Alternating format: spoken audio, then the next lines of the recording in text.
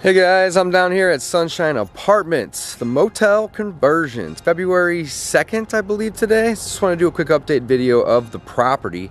Give you guys a little tour of the property real quick too. Easy, we close fast and anytime that works for you, So I am out here today. I got the roof done on the main building, both the back and the front side. This is building two, and that roof's also done which is great. We got to still work on the garage roof and storage area.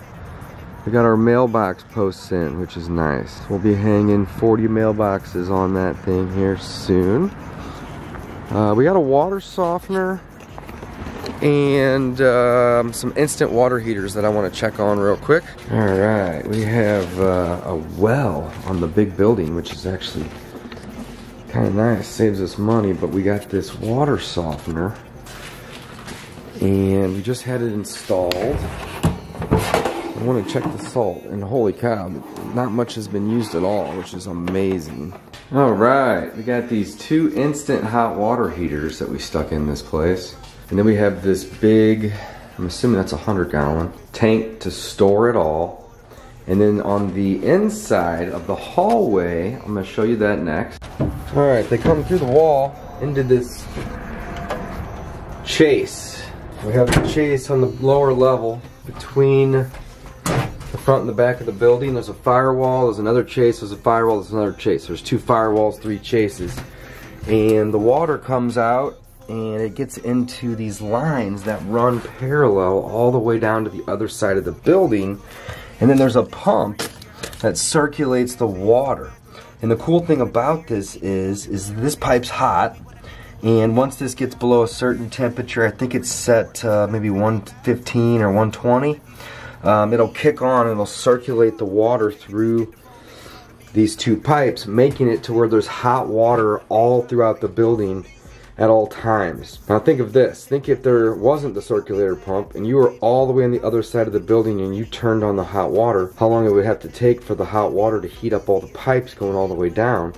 In this approach, and there's both sides, one for upstairs, one for downstairs, it keeps the hot water circulating throughout the building. So when you turn the faucet on in the shower, you have hot water instantly. It's a really, really cool thing. I didn't know nothing about this until uh, we bought this motel and converted it. It's just kind of a cool little thing that I learned along the way. So in this chase is really where we uh, tackle all of the electrical and plumbing to get to all of the units. And there's electrical panels um, spaced out down the hall, you know, six, seven, eight of them in each chase.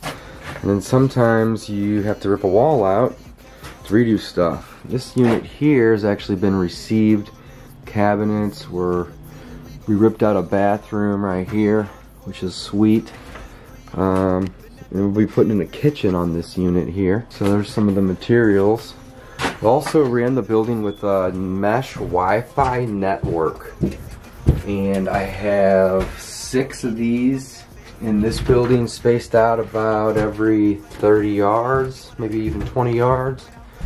Um, and then three in the other buildings. So I have nine total. And I brought my uh, Starlink, Elon Musk's satellite internet down with me. So we're going to install that and provide uh, satellite internet along with solar panels. So it's gonna be kind of a neat project. This entire property runs on these on propane and it's just for the hot water heaters. It has this sensor on it so when the tank gets below 40% or maybe 30% the company automatically comes out and refills the tank. We need to clean all this trash up next to our dumpster here. Um, and that does the hot waters, the two instants here in the holding container and the circulator pumps push the water all the way down the whole building. Over here, we have electric water heaters. All right, here's the plan. Here's the building plan.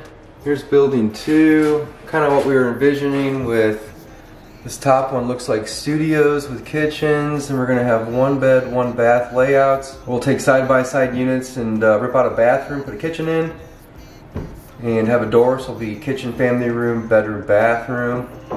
Then we also have about three or four of these two bed, two baths, where the kitchen will be the middle unit that's ripped out, kitchen family room, and then bed and bath on each side. And then there's also additional units on the floor plan that are already two beds.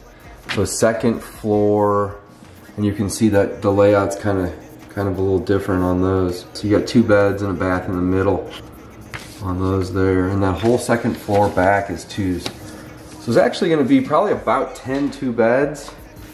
Seven of them, eight, six of them or seven of them will be two bed, one baths, and then we'll have about three or four of these two bed, two baths.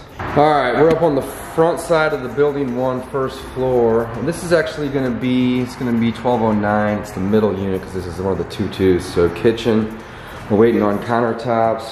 Floors are in. Paint looks good. We're missing a little trim and some cleaning, but it looks awesome. And then this side will be bedroom bath. Bathrooms are done on this one, nice. Oh, look at that. So we got new vanity, mirror, lights, and flooring. We got the new toilets. We're gonna have to clean the tubs up. And then are we gonna use a surround on these, Steve? So we're gonna use a new surround on that to make it look nice and clean. And then just finish up the trim and the rest of the paint, but it looks great. New fan, hell yeah.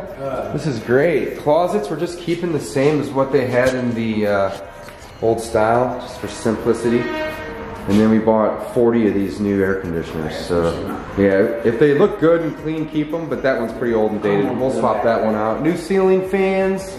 We're in the process of painting the doors. Steve, we should probably paint the insides of these doors too. Are we doing white? Okay, perfect. Yeah, this kitchen's awesome. We got these great appliances. All electric in the building, no gas. And then the countertops are coming. I think these are soft close. They are. This is awesome. So then, we have another bedroom on this side. Bedroom here, with the bath and closet. Same with the bath, so I need to clean that one up. We got brand new windows ordered. Those will be here in about two weeks for the whole entire project. Cut this parking lot in half. And the lease should be coming back today. They're gonna move those boulders there down to the end of this lot. And this whole lot's ours. We own this whole lot, but we're leasing that chunk of highway frontage to this RV dealer next door for I think 500 a month.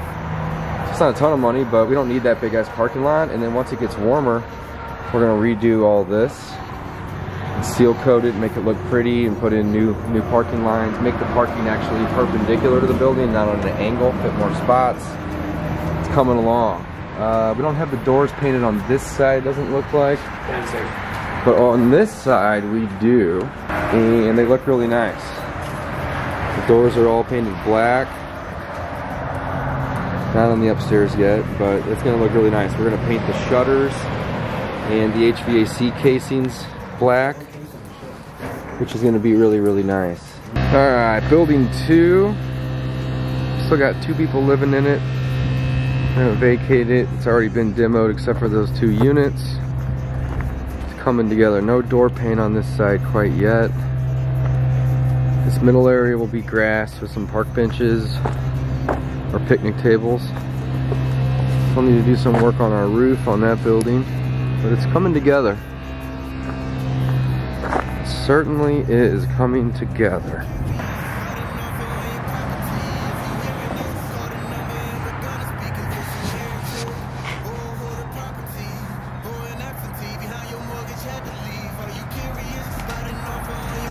If you call the number and we're gonna speak if it's inherited. Oh, the property.